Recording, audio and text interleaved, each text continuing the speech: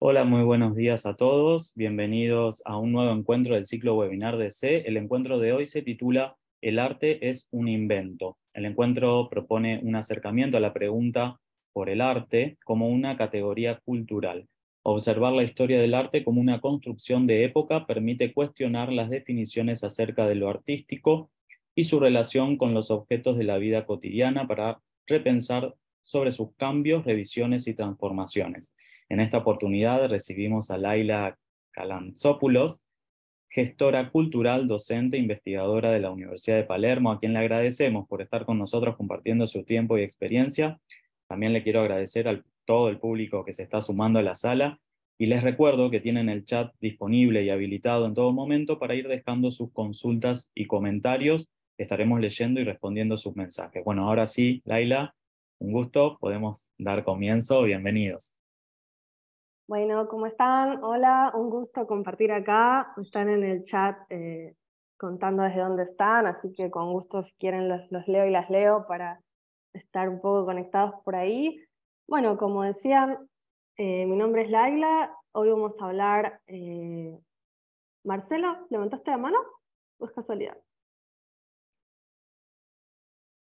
Vamos a hablar un poco sobre la idea del arte como una construcción este es un ciclo que propone tres encuentros que no son correlativos, eh, sino que los pueden tomar de manera autónoma y los próximos dos jueves también nos estaremos encontrando, para seguir haciéndonos preguntas en relación a esta práctica que tantos interrogantes nos proponen en nuestros tiempos. Bueno, los estoy leyendo en el chat, así que saben que cualquier cosa eh, nos podemos conectar desde ahí. Y les voy a empezar a compartir pantalla, así que quedo atenta si pueden ver la imagen, para que empecemos a, conversar y a discutir sobre estas temáticas. ¿Por qué traigo esta noción sobre el arte es un invento? ¿De dónde sale esta idea? La realidad es que el arte moderno y el arte contemporáneo nos enfrenta a muchísimas preguntas que de algún modo nos descolocan frente a muchos objetos que vemos. También aparece mucho el chiste, no sé si lo habrán visto, respecto de uno estar en un museo de arte mirando atentamente de repente un matafuegos. Entonces, ¿Qué, sucede? ¿En qué momento el arte se convierte en este interrogante en el cual nos pone en una situación incómoda como posibles espectadores o visitantes de exposiciones? Para esto, para responder a esta pregunta, vamos a tomar un autor específico. Cada uno de estos eh, autores nos van a ofrecer distintas entradas respecto de esta pregunta sobre el arte contemporáneo. Y la idea es que hacia el final de estos encuentros tengan herramientas conceptuales para poder eh, acercarse desde un lugar curioso, desde un lugar eh, de interpelación, hasta esos, hacia estos objetos que se nos proponen como desafíos. Para empezar, les comparto una imagen. Y les pregunto si quieren participar en el chat, ¿Qué diferencia pueden encontrar entre estas imágenes? Podemos mirar diferencias formales, podemos mirar diferencias conceptuales, podemos mirar también diferencias de épocas y de productores y de producciones, ¿no? Seguramente ustedes deben estar pensando eh, algunas referencias en contraposición. Yo tengo entendido que el espacio de comunicación que está disponible para intercambiar es el chat, así que si quieren escribir por ahí, pueden escribir perfectamente que yo los voy a leer. Acá me dicen, por ejemplo, la diferencia entre algo decorativo y algo histórico. Me gustaría preguntarte, Luisa, cuál es el decorativo y cuál es el histórico según tu observación. También Gabriela me señala la diferencia entre materiales, esto también es una realidad. Materiales, colores, perspectivas, señalan distintos elementos que nosotros inmediatamente podemos encontrar. Y aparece una noción que es fundamental, el contexto, el contexto de la obra en el que fue realizado. Como señalan las cédulas que están debajo de los objetos, podemos ver por un lado un vaso con vertedera. Ya en su título definitivamente nos aparece una perspectiva de funcionamiento del objeto. Un vaso con vertedera que se realizó entre el 0 y el 500 50 después de Cristo. Y también la cédula nos señala que es parte de la colección de arte prehispánico y colonial americano dentro del Museo Nacional de Bellas Artes. Seguramente si ustedes tuvieron alguna materia en relación a arte o alguna carrera que realizaron, probablemente hayan tenido arte precolombino, ¿no? Como una categoría dentro de lo artístico. Pero hacia la derecha de la pantalla podemos ver una obra de Bustelli, que también es un objeto, ustedes ven una imagen, pero puedo dar fe que es un pequeño objeto, por lo tanto recorrible, por lo tanto se puede tomar en las manos de la misma manera que el vaso con vertedera que vemos a la izquierda, y la diferencia es que tiene un pequeño título como Octavio de la Comedia del Arte y está realizado en 1760. ¿Por qué traigo a comparación estas obras? porque lo que quiero compartir con ustedes es una noción que trae Schiner, que va a hablar de que existen para estas imágenes dos conceptos de artes distintos. Por un lado, un antiguo concepto de arte que refiere a las cosas hechas con un propósito definido. Esto es clave, las cosas hechas con un propósito definido. Este antiguo concepto de arte, que podríamos encuadrar el vaso con vertedera, o la pequeña figura que tenemos a la izquierda, que es una figura eh, ritual, una figura humana, antropomórfica. En este antiguo concepto de arte, estos objetos tienen un propósito definido que está asociado a un sistema de arte utilitario. Y lo que nos va a decir Schiner es que este sistema del antiguo concepto de arte duró alrededor de 2.000 años. Fíjense la cantidad de tiempo que estamos hablando. 2.000 años de un antiguo concepto de arte. Pero ¿qué va a suceder? Nos plantea el autor. Alrededor del siglo XVIII, y cuando decimos alrededor no es que empieza el primer día del siglo y termina el último, sino que en realidad él va a dar cuenta de que desde 1680 aproximadamente hasta 1730, como un periodo clave de transformación, se va a instalar y se va a amalgamar un moderno concepto de arte. Este sistema de las artes, y habla de sistema porque trata de pensar múltiples agentes de relación que hacen que entendamos algunos objetos dentro del campo artístico y otros objetos fuera, este moderno sistema del arte va a estar asociado a la idea de un arte bello, a la idea de la belleza. También tengamos en cuenta que este es el periodo en donde la estética se establece como disciplina. ¿Sí? Es 1750 aproximadamente, que parece que es hace mucho tiempo, pero es alrededor de 200, 300 años. No es tanto en relación con ese antiguo concepto de arte, que duró 2000 años, ¿no? En una vida es mucho tiempo, pero en la historia de la humanidad son fragmentos de tiempo menores. Ahora, en este moderno concepto de arte, este arte bello va a producir objetos para la contemplación estética. Y por eso les pongo a la derecha de la imagen una obra de Rodin, que también es parte de la colección del Museo Nacional de Bellas Artes, esta cabeza de dolor. Y fíjense como dos figuras que pueden estar aludiendo a conceptos similares, en realidad tenían un funcionamiento muy distinto en su origen.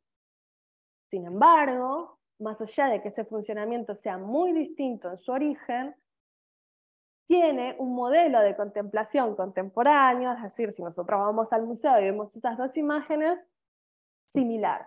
Se equiparan esos modelos de acercamiento a estos objetos.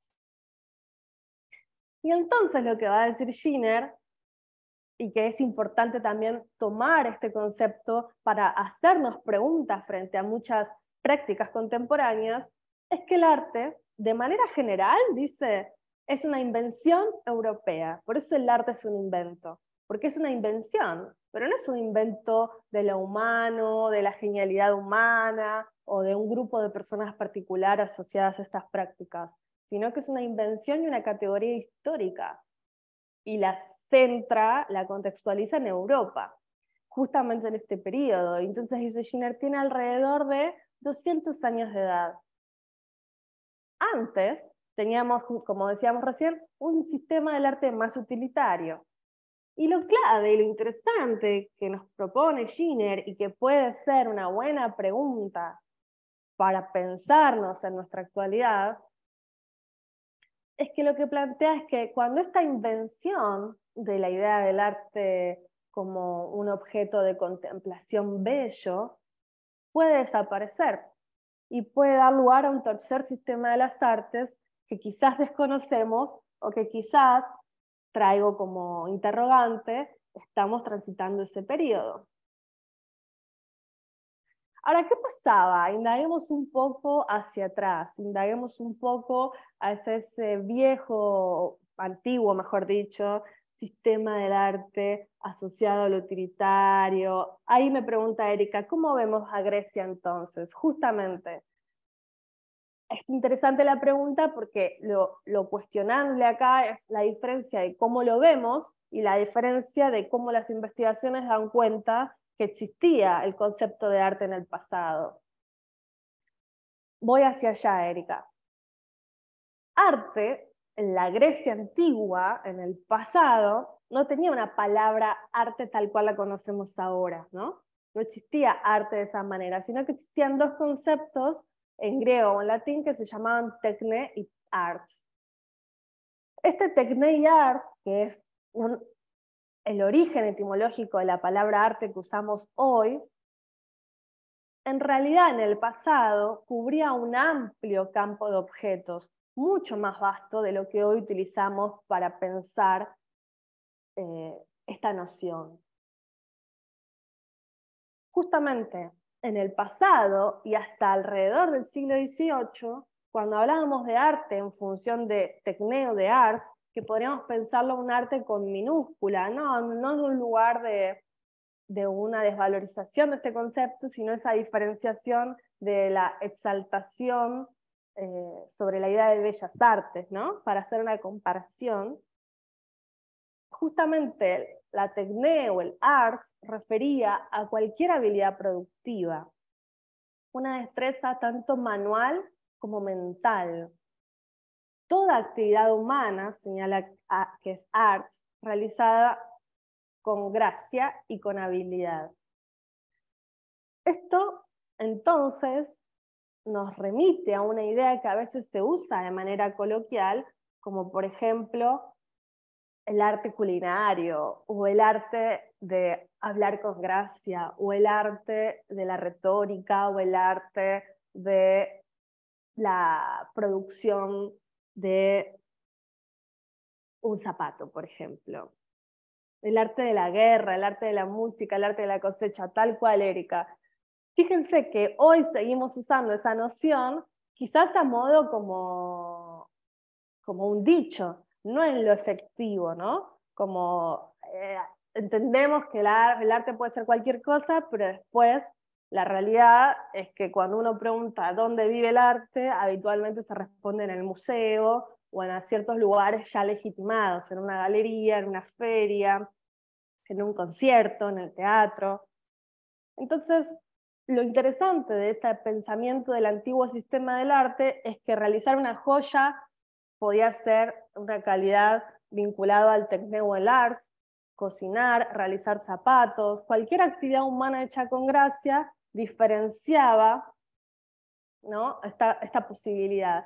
Pero no entendamos esa noción como la entendemos hoy, sino que justamente lo que va a hablar Schiner es que en un momento, que es en este siglo XVIII, se produce una gran división. Ese tecné y ese arts que se pensaba el arte como habilidad, en el siglo XVIII se diferencia. Como una expresión lírica, preguntan la expresión lírica del arte de la guerra, claro, como una expresión metafórica, pero habitualmente no se usa para efectivamente decir eso es arte. Nadie dice que una guerra es arte, efectivamente.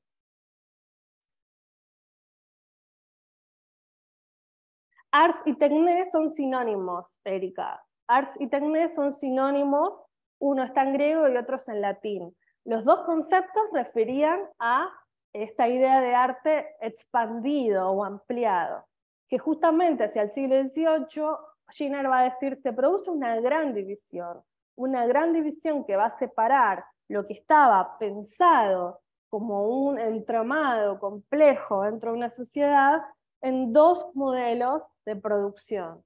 Por un lado, el arte como habilidad, el tecné como habilidad del pasado, se va a diferenciar en las bellas artes, y esas bellas artes aparece esa adjetivación de belleza, que a veces va a seguir existiendo en la actualidad y a veces no, pero que cuando tenga o no tenga ese adjetivo puesto para que lo veamos, todos ya tenemos una idea de arte bello en nuestra propia educación, ¿no? Porque somos también hijos de la ilustración. Entonces esas bellas artes va a estar asociada a la idea de inspiración, de genio, de disfruto estético. ¿Les suena esta idea de, wow, qué magnífico el artista que es inspirado por fuerzas superiores? ¿Y qué disciplinas se van a relacionar con esta categoría de bellas artes hacia alrededor del siglo XVIII? La poesía, la música, la arquitectura, la pintura. Pero por otro lado, hay un montón de actividades y de hacer que en el pasado, en ese antiguo sistema, estaban entramados dentro del concepto de arts techné, que van a ser las artes populares. Por llamarlo de alguna manera, plantea Schiner, por poner un nombre para estas prácticas que en el antiguo sistema del arte estaban incorporadas. Y estas acciones van a estar vinculadas con las habilidades del artífice, por ejemplo, con una gran magnificencia del hacer, que también en las bellas artes va a estar asociado. Escribo acá el nombre del autor, Schiner, y el texto es La invención del arte, para quienes quieran investigar. Las habilidades del artífice, los objetos de uso o de entretenimiento. Fíjense esta concepción, entretenimiento. Cuando en realidad, si hablamos de industrias culturales, ¿no? El entretenimiento es parte de una categoría de esas bellas artes o esas artes con mayúscula que siguen diseminadas en el campo. ¿Y qué prácticas van a estar asociadas? Si en esas bellas artes era la poesía, la música, la arquitectura y la pintura, en estas artes populares se van a relacionar con, por ejemplo, mencionamos algunas, contar cuentos, la narración oral, las canciones populares, el fabricar zapatos, el bordar. Entonces, justamente, aquí les traigo, por ejemplo, el fondo de esta imagen. Es una producción de William Morris que hacia el fines de 1800, de una manera un poco cuestionando ¿no? esta diferenciación entre la gran división propone una escuela de producción de objetos bellos con intenciones de que sean populares. Finalmente después no es tan simple que esto suceda, pero va a ser el inicio de una tradición de escuelas de oficios como la Bauhaus y otras que podríamos mencionar a lo largo de la historia.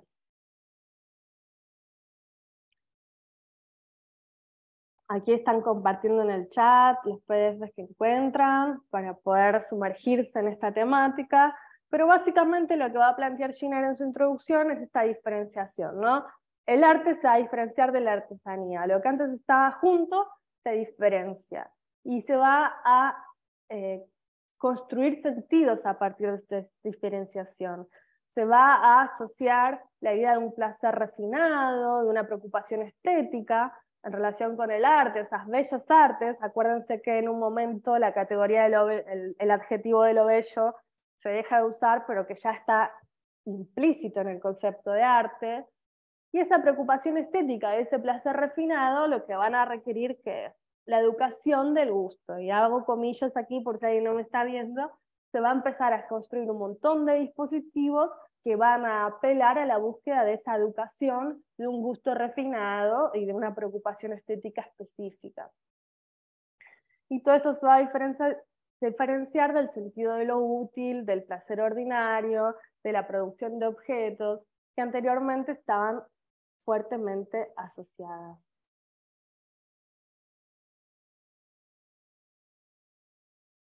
Entonces, para repasar, Esto que llamamos arte de manera general, Schiller va a plantear que es una institución social, que es una idea de arte europeo que aparte se piensa como universal. Y esto es fundamental. En realidad, una categoría particular planteada en un momento específico de la historia se piensa como universal y volviendo a una pregunta que anteriormente hacía Erika, esta universalización de un concepto particular y contextualizado lo que hace es que analicemos todos los objetos de la producción histórica que originariamente tenían otro tipo de funcionamientos, más entramados y más asociados a las prácticas sociales cotidianas, como una, con esta categoría específica de histórica del siglo XVIII, por ende va a pasar que van a encontrar muchísimos objetos que quizás antaño podían encontrar en un museo de antropología, en la actualidad podrían estar expuestos en un museo de bellas artes. ¿Y cómo lo exponen? ¿Para que lo usemos o para que hacen reproducciones para que puedan ser tocadas? Porque entiendo que es un patrimonio histórico y que tiene que ser cuidado, pero digo, ¿cuál es el funcionamiento de ese objeto dentro de un museo? De cualquier museo. Es un funcionamiento de observación estética, ¿no? Uno puede pararse y contemplar ese objeto como si fuera una pintura impresionista o una pintura de un movimiento de vanguardia. Uno se para y mira. Esta es la universalización de una categoría particular llevada a un pensamiento como global. Y lo que va a decir Schiller también, que es interesante, es que no solo la categoría arte se piensa como universal a pesar de ser una categoría particular, sino que eh, muchos conceptos y muchos elementos de la ilustración buscan esta universalización general. Pero fundamental es que si esta categoría es histórica, como tal, entonces podría desaparecer. Por lo tanto, podríamos estar frente a un tercer sistema de las artes que aún desconocemos el funcionamiento, pero que nos podría proponer nuevas estrategias para las cuales este sistema conceptual ya no nos sirve. Entonces, este cambio que se genera entre el antiguo sistema del arte y el nuevo sistema del arte es una revolución conceptual que en realidad no refiere solo a un cambio de un concepto por otro, sino que refiere a un enorme sistema de conceptos, prácticas instituciones y creencias. Y las creencias son fundamentales porque quizás algunos se puede estar preguntando, pero ¿qué pasa con lo emotivo, con lo afectivo, con el impacto emocional que a mí me genera una producción artística? Porque eso es inevitable y es imposible dejar a un lado. Bien, según este autor, esto dentro entra el sistema de creencias. Este concepto queda adentro de todo ese sistema, en donde estamos afectados emocionalmente por esa producción estética. Y hay algunas palabras claves que quiero desilvanar con ustedes que son fundamentales para entender esta idea de sistema que se instala y que permanece a partir del siglo XVIII. Una es institución, ya se las adelanto, la otra es asimilación y la tercera, relaciones de poder y por último, espectador. Son los cuatro puntos que vamos a desilvanar rápidamente para que ustedes tengan una introducción respecto de este cuestionamiento tan provocador sobre la idea de que el arte es un invento. A ver, tengo aquí el chat.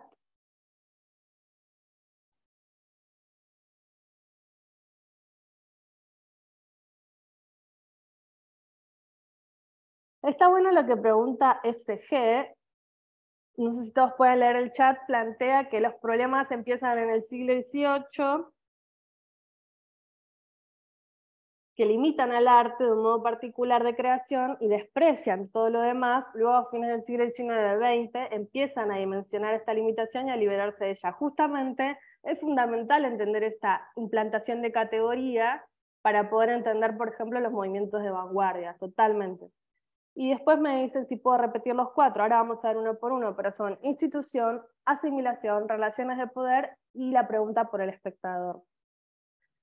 ¿Qué pasa con la institución? Justamente, como les decía, si hay un sistema, entonces tiene que haber todo un cambio de los elementos que están hacia alrededor de ese sistema. Por eso hay un desarrollo y una creación de instituciones fundamentales para poder generar estos cambios de prácticas. Y si en el siglo XVI y XVII, por ejemplo, existía el gabinete de curiosidades, que ahora vamos a ver con detalle qué es, la música era una música litúrgica o religiosa que acompañaba fiestas sociales o políticas, pero no que eran para la expectación específica o la escucha. Si los artistas y los artesanos trabajaban por encargo o por colaboración, esto es fundamental, porque Schiller va a señalar, hay tratados en donde Leonardo da Vinci le piden que pinte la Virgen de las Rocas de determinada manera y hasta tiene como un certificado de garantía por si la obra sufre algún daño. Y a la vez el mecenazgo, ¿verdad? Grandes familias que eran mecenas de estos artistas en donde empezaban a aparecer esos nombres renombrados como Rafael, Leonardo, Miguel Ángel y Donatello. Estos cuatro elementos que señalo aquí van a empezar a cambiar hacia el siglo XVIII, hacia el siglo XIX, en donde el Gabinete de Curiosidades va a devenir en museos, instituciones abiertas al público para la educación del gusto social, entre muchas otras cosas. En la música pasa de ser un entramado más en una situación social a ofrecerse en salas de conciertos, donde uno se sienta y escucha, las obras pasan de estar asociadas a la arquitectura o un funcionamiento específico dentro de una práctica social. Por ejemplo, muchas pinturas del Renacimiento que hoy vemos colgadas en los museos, en realidad, por ejemplo, funcionaban dentro de un contexto particular, como ser un decorado o un acompañante en una casa matrimonial o en una sala de reuniones o en una sala de conferencias no solo desde una perspectiva decorativa, sino que las temáticas claramente se asociaban a lo que sucedía en cada uno de estos lugares. Entonces, hacia el siglo XVIII y XIX, la obra empieza a entenderse como autónoma y esos artistas artesanos que trabajan por encargo en realidad empiezan a funcionar como creadores individuales, que a su vez ya no son acogidos por un mecenas, sino que funcionan según lo que el mercado exige. Y ese mercado y ese público es una burguesía naciente. Como les mostraba, ¿qué es el gabinete de curiosidades y cómo llegamos al museo? Bueno, el gabinete de curiosidades empieza como una exhibición de objetos curiosos, excéntricos, extraños, que provienen de distintos sitios del mundo. Ah, incluía elementos de historia natural, como animales disecados, fósiles, insectos, a veces obras de arte o piedras eh, preciosas, relojes, joyas, muchas veces también terminaban siendo un símbolo de estatus social. Miren lo que uno puede mostrar, porque el gabinete de curiosidades, por supuesto que lo tenían los reyes y las personas de poder, y mostraban muchas veces como mm, elementos u objetos traídos de triunfos de guerras, ¿no? Como casi como copas, como la copa del mundo. Estos gabinetes que funcionaban como, como símbolo social terminan deviniendo hacia el museo. Por ejemplo, el Museo del Louvre, que abre en 1793, abre sus puertas al público, que sí, en principio eran abiertos al público en general, porque ¿qué pasa en 1789? En Francia la Revolución Francesa. Que, ¿Cuáles eran sus este, premisas? Igualdad, libertad y fraternidad. Podemos cuestionar, y lo vamos a hacer en breve, para quién es esa igualdad, libertad y fraternidad, ¿no? No era realmente universal, porque podemos pensar cuál era el lugar de las mujeres o de, de las personas que en su momento eran esclavos, pero sí es, abre al público porque justamente hay un funcionamiento en este periodo en donde primero hay una búsqueda de cierta democratización del poder, la, burguesía naciente pugna por ese acceso a la cultura, había una gran proliferación de bibliotecas populares, por ejemplo, pero si bien en su origen tiene ese funcionamiento, claramente el museo se convierte en un espacio también de, eh, un regulador social, un espacio de control, ¿no? Incluso pensemos cómo nos comportamos cuando vamos al museo y cómo si alguien sube un tono de más o por ejemplo alguien empezara a correr, todos lo miraríamos porque incluso funciona con un control dispuesto por los propios agentes que lo habitamos. ¿Y cómo funciona hoy el museo? También es interesante pensar esto. ¿Cuál es el imaginario del museo hoy? Les traigo, por ejemplo, un, eh, ustedes habrán visto otros, pero en Instagram existe el Museo Virtual de Arte Encontrado, que es un museo en donde van eh, recuperando elementos que aparecen en la calle asociados a esta idea de arte. Y también acá es importante cuestionar a qué idea de arte se podrían asociar estas imágenes que ven.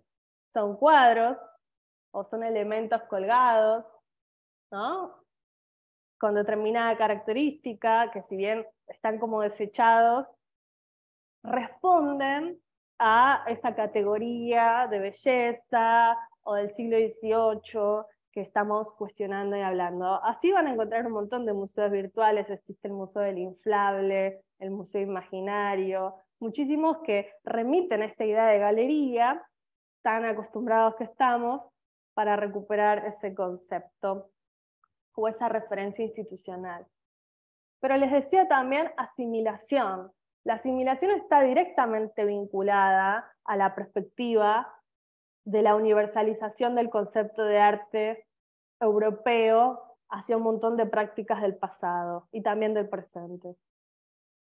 Porque justamente, en relación con lo que preguntaban antes, un montón de actividades o artefactos de otros pueblos son asimilados en, en, esa categoría europea de contemplación estética, y esto hace un refuerzo a esa idea de lo universal. Fíjense cómo esta exhibición es una exhibición para, bueno, hay muchos que son de otros países, de otras provincias, pero les cuento que en el Museo Nacional de Bellas Artes, ubicado en Capital Federal, hace poco se hizo esta exhibición que se llaman Los Tesoros del Museo Arqueológico de Taranto, reunidos en el Bellas Artes. Y justamente eran vasijas o elementos históricos o máscaras o joyas que estaban expuestas de la misma manera que uno podría exponer em, una pintura impresionista o una pintura del siglo XVIII, en el neoclasicismo, por ejemplo. También, si entran a la colección del museo, van a encontrar una enorme cantidad de objetos que pertenecen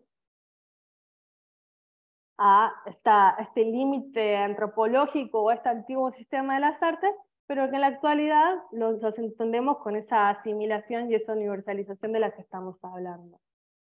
Ahora, hay algunos casos en donde la contemporaneidad toma estas discusiones y las usa en favor de jugar con estos límites, ¿no? Por ejemplo, les traigo un caso en donde en lugar de asimilación, de mi parte yo lo que observo es esa inserción en los circuitos y una recuperación de ese antiguo sistema de las artes para autopromulgarse, por ejemplo, artista.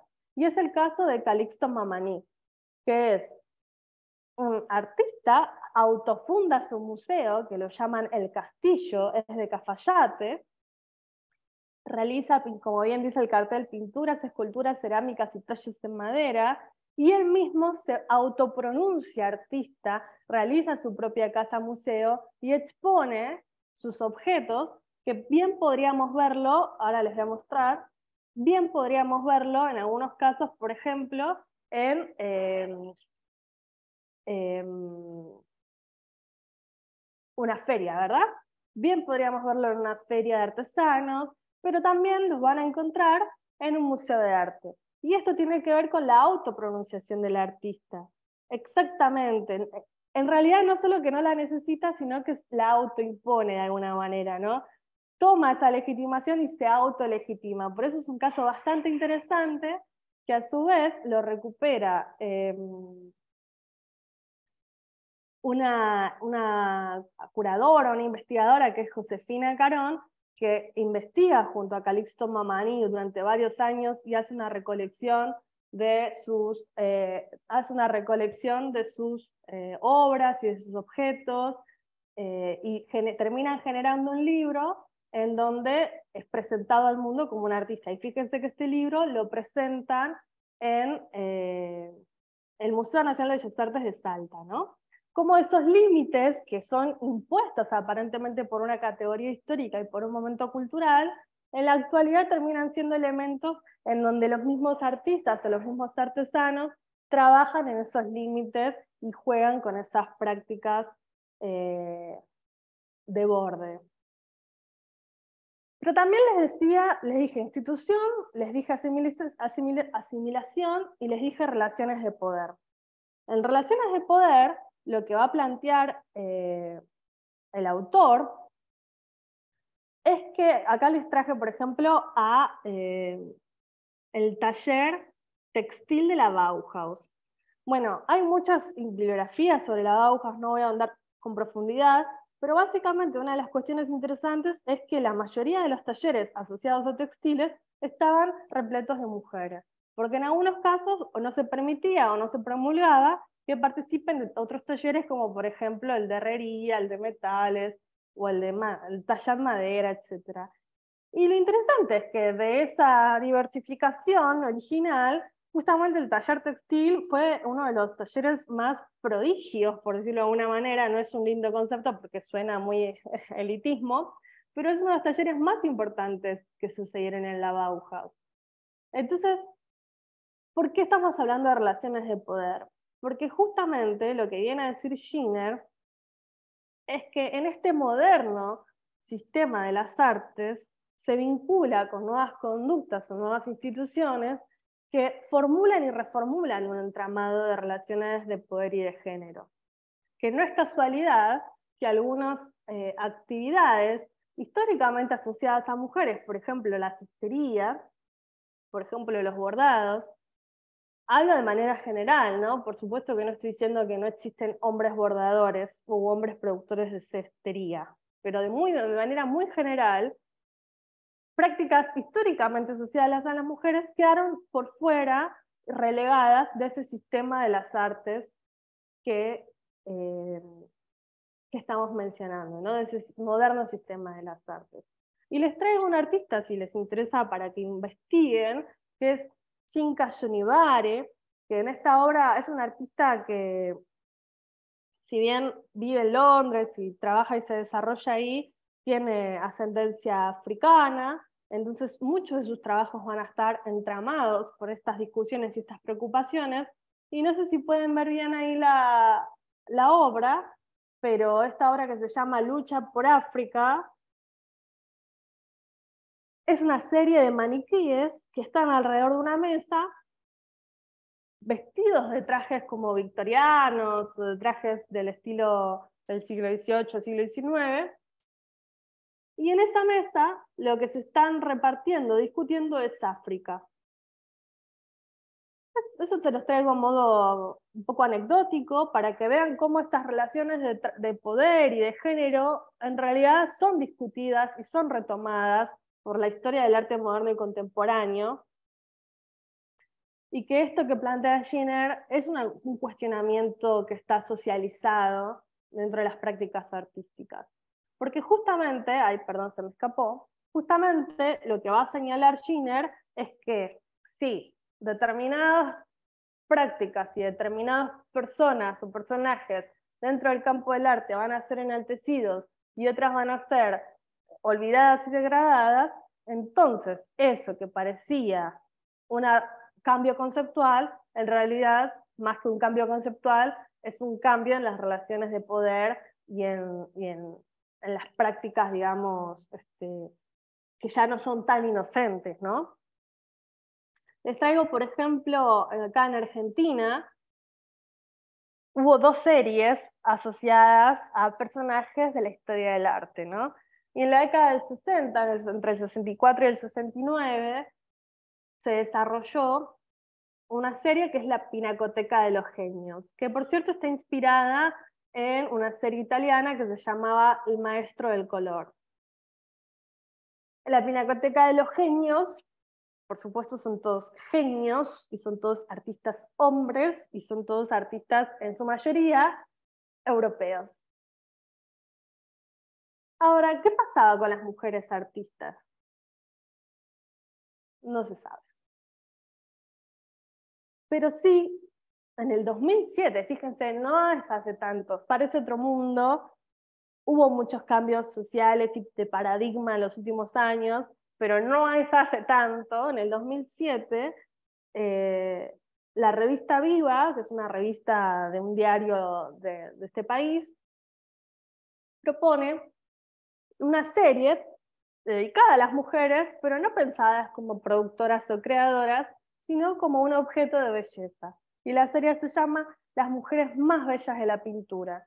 Y entonces lo que recupera esta serie son todas mujeres que eran modelos. Entonces, esta repartición de los lugares de poder es claramente parte de este entramado que se constituye en este siglo XVIII. ¿Qué lugar tienen los hombres? ¿Qué lugar tienen las mujeres? En la actualidad tenemos que ver qué lugar tienen las diversidades. ¿Verdad? Y frente a esto, nuevamente, el arte viene cuestionando hace muchísimo tiempo. Este texto que estamos leyendo es del 2001, y fíjense que en el 89 ya las Guerrilla Girls preguntan, ¿tienen que ir desnudas las mujeres para entrar al Metropolitan Museum? Y las Guerrilla Girls son un colectivo de mujeres que son activistas, artivistas, que vienen a plantear y hacer estas preguntas respecto de cuál es el lugar de la mujer. También tienen una obra bastante interesante, que, graciosa, que dice como las ventajas de ser mujer artista. Y como es muy irónico porque plantea, por ejemplo, que una de las ventajas es no tener que preocuparse por el éxito, porque igual ya tenés garantizado que no vas a lograr llegar a acceder a ciertos lugares. Y también tiene una serie de investigaciones y de porcentajes, como pueden ver en la pantalla, de la cantidad de mujeres artistas respecto de la cantidad de mujeres que están desnudos como modelos. Entonces, justamente como les decía recién, lo que va a plantear Skinner es que hay un refuerzo en esta división, en esta gran división, entre líneas de raza, de clase, de género, que lo que parece inocentemente un cambio conceptual en realidad es una reelaboración de relaciones de poder. Y traigo un caso más como para ir cerrando poco a poco esta presentación, que es el caso de Arthur Bispo de Rosario. Por si no lo conocen, es un artista, podríamos decir, es un artista, pero también es una persona que fue usuaria del Servicio de Salud Mental de Brasil durante más de 50 años. Y que en un documental en donde sale hay un documental sobre salud mental que se expone en la televisión brasilera y un curador e investigador del arte lo ve, entre comillas, lo descubre y empieza a trabajar con él como artista. Frente a esto recibe un montón de cuestionamientos de por qué es artista, por qué no es artista. Es un debate que puede ser discutido aparte. Pero sí es interesante porque Arthur Bispo de Rosario por ejemplo, tiene esta obra que se llama Manto de Presentación, que es una obra que aparte es una obra textil, ¿no? Esto ya nos habla de esa diferenciación de la gran división que hablábamos del siglo XVIII, que era un manto justamente que él estaba cosiendo, porque trabajaba, por cierto, con todos materiales que podía encontrar en su espacio internación, espacio que hoy se convirtió tiene un anexo que es su museo, el Museo Artur Bispo de Rosario, que tiene una gran práctica social en relación con la salud mental, o por lo menos eso es lo que plantean en, sus páginas. ¿Y este manto, cuál qué funcionamiento tenía originariamente? El manto, él lo crea porque es un manto de que cuando termine su actividad y su acción aquí en la Tierra, era el manto de presentación frente a Dios o hacia la fuerza superior. Sin embargo, Ahora, ¿cómo es exhibido? Es exhibido como un objeto eh, de contemplación. De hecho, estuvo en bienales, estuvo en un montón de exhibiciones particulares, individuales, y hoy tiene un funcionamiento en el circuito del arte contemporáneo muy establecido y desarrollado. Ahora bien, ¿cuándo empieza a explotar esta circulación de Artur Bispo de Rosario? Después de su fallecimiento, es decir, después de 1989 a partir de la década del 90, del 2000, empieza a circular de manera expandida. Y esto también está bueno para ver y analizar cómo los sistemas del arte, lo que hoy ingresa dentro de la categoría del arte, mañana puede quedar expulsado o viceversa. Van Gogh es un gran ejemplo del caso, ¿no? Y acá lo vemos a Pipo de Rosario con su manto de presentación. Con esto no estoy cuestionando para nada la práctica de recuperar otras disciplinas, incluso otras figuras de artistas que no son las tradicionales. Es bien interesante eso de la contemporaneidad. Sin embargo, está bueno no dejar de perder una perspectiva crítica de cómo en realidad es un sistema el que ingresa o elimina estas posibilidades de participación. Sí, acá eh, preguntan o dicen, sigue pasando lo que se inició en el siglo XVIII, porque es un aparato ideológico de alguna manera que sigue teniendo funcionamiento. Y lo que viene a proponer Schiner es, eh, tengámoslo presente, analicémoslo, pensémoslo de manera crítica, porque no hay una manera de volver a un antiguo sistema de las artes, pero sí hay una oportunidad para crear un tercer sistema de las artes. Y para cerrar, el espectador. Y les traigo espectador. ¿Espectador? Como pregunta. ¿Es posible seguir pensando en la idea de espectador en la actualidad? Porque esta revolución conceptual que hablamos del siglo XVIII no solo cambia los modelos de producción, es decir, de artesanos y colectivos regidos por mecenas, que trabajaban a forma de encargo y con obras articuladas en contextos específicos, a el artista romántico, como lo conocemos hoy. Romántico me refiero a la exaltación de su individualidad, el artista que supuestamente es autónomo, que trabaja por el mercado, o más allá del mercado, pero digo, la manera que tiene de generar un ingreso es por eso. No cambia solo esos modelos de producción, sino que también cambian los modelos de contemplación. Y vuelvo a la idea de la producción de un museo, ¿no? Un museo que implica un ideal de una atención silenciosa y reverencial. Los modelos espectatoriales también cambian y se modifican a partir de ese siglo XVIII y también se encuentran en crisis hoy en nuestra actualidad, porque les hacía el chiste respecto de ir a un museo y mirar con mucho placer estético de repente un matafuegos, entendiendo que es una obra y después de repente no lo era. O hay muchos chistes sobre que los equipos de limpieza en los museos de arte contemporáneo todos los días tienen que preguntar, ¿esto es una obra de arte? ¿Esto es una obra de arte? Sobre eso vamos a seguir indagando en los próximos encuentros de este ciclo que es el grado cero del arte contemporáneo. Pero hoy nos quedamos con este modelo de producción y modelo de contemplación que sigue en crisis en la actualidad.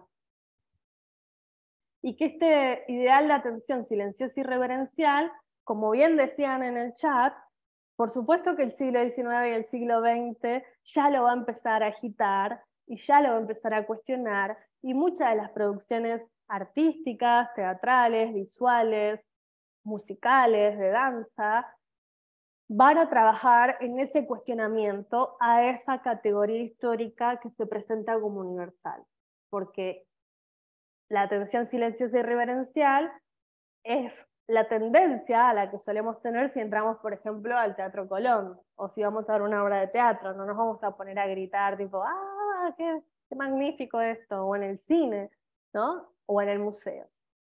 Y de hecho genera mucha molestia cuando alguien cruza o bordea esos límites de manera pesada, por decirlo de alguna manera, ¿no? que no te dejan escuchar o que no te dejan disfrutar a la manera que estamos eh, educados o seteados y que a su vez todas las prácticas artísticas nos ponen en crisis. Por ejemplo, Félix González Torres, que fíjense que es una obra del 91, tiene muchos años, que hace esta obra que se llama sin título Placebo Azul, y es una serie de caramelos dispuestas en el piso que frente a esta exposición uno no tiene más que hacerse la pregunta respecto ¿qué hago con esto? me como el caramelo, es para mirarlo, me puedo llevar uno, tres, cinco, me lo puedo meter en la boca en el museo, es un souvenir. Félix González Torres es un artista que merece la pena indagar e investigar respecto de cuál es su propuesta y por qué los caramelos y cuál es la relación con el cuerpo y con la enfermedad, particularmente el HIV-Sida. pero se los dejo para que lo, investiguen y lo, analicen si, si les resulta de interés, pero claramente su obra nos interpela a nosotros como espectadores que si nos quedamos expectando, nos estamos perdiendo parte de la propuesta artística. Entonces, para cerrar con Schiner y todo su pensamiento, que tratamos de, acercarnos un poquito y aproximarnos hoy, lo que nos va a proponer Schiner hacia el final de su introducción en el texto es una pregunta. Y la pregunta es, ¿por qué no escribir nuestra historia desde una perspectiva más afín a un sistema del arte que concilie la imaginación y la destreza, el placer y el uso, la libertad y el servicio. Justamente la propuesta de Schiner es volver a escribir esta historia, volver a pensar los desarrollos históricos que se sucedieron y a partir de eso construir una nueva oportunidad para transformar el presente. Eso es clave también, porque en los estudios de género muchas veces se cuestiona y se plantea la, la, práctica de ir como un arqueólogo a revisar las mujeres del pasado. Porque justamente no se trata de qué artistas mujeres hubo en el pasado, por supuesto que sí se trata de eso, pero quiero decir, no alcanza con eso, sino que es necesario ver más allá de eso y entender, como dice Linda Notchling, que les recomiendo este texto también, por qué no ha habido grandes artistas mujeres, es cuáles fueron las condiciones estructurales que hicieron que las artistas mujeres no proliferen. Porque artistas mujeres seguramente hubo, pero seguramente son excepciones. ¿Y por qué son excepciones? Porque hay un sistema que no promueve, no promulga, no permite. Incluso en el pasado no podían ir a estudios de modelo vivo con personas, hombres desnudos. Estaban solapadas, exactamente. Entonces, con esto me gustaría cerrar esta pregunta por si es posible reescribir una historia que concilie esa gran división, pero que a la vez esté atenta a las preguntas del presente. No dejemos de dar cuenta que el texto de Schiller es del 2001 y estamos en el 2023. Y si bien nos sirve como base para empezar a hacernos preguntas sobre las prácticas artísticas que a veces nos dejan con más preguntas que respuestas y que eso genera una incomodidad, porque bien podría ser un placer, es necesario pensar también cómo nos encontramos en el presente y si estamos frente a un nuevo sistema de las artes que nos invita a reescribir y a construir nuevas oportunidades. Esa es mi presentación de hoy, les agradezco mucho su, atención y su participación. Ahí tienen mis contactos por si les gustaría eh, hacerme preguntas o proponerme o seguir charlando del tema. Tienen eh, el mail que es y el Instagram, que es arroba la Este, los, los, leo, las leo por si surgen preguntas. Eh, muchas gracias, gracias. Ahí dice Esteban para compartir, eh, me hace pensar, yo me describiría como artesano del diseño gráfico tal cual. Para ustedes como diseñadoras es una pregunta fundamental. El diseño es una expresión artística enfocada en la técnica, Excelentes preguntas, Esteban. Y son, son preguntas que a veces no van a tener una respuesta absoluta, pero que la idea es eh, poder construir nuevas posibilidades. Eh, gracias a ustedes. Eh, muchas gracias. La verdad que un gusto la cantidad de gente que, ha venido. Y bueno, yo sigo a disposición y les comento nada más que, que el próximo jueves, en el mismo horario, seguiremos revisando textos claves para acercarnos al arte contemporáneo. Bárbaro, muchísimas gracias Laila, un lujo poder contar con vos en el ciclo webinar de C. Felicitaciones por el encuentro, bueno, ahí el público está dejando sus saludos y agradecimientos en el chat. Un gusto acompañarte en el webinar, muchísimas gracias a todos los espectadores que se sumaron. Les compartimos en el chat eh, las redes sociales de la facultad eh, para que puedan conocer más sobre los eventos online y actividades que tenemos en agenda para ustedes. ¿sí? Por último, les dejamos el link del canal de YouTube de Conferencias de C, donde próximamente van a encontrar la grabación del encuentro de hoy. Los esperamos en el próximo encuentro de webinar de C y hasta la próxima. Gracias. Chao, muchas gracias.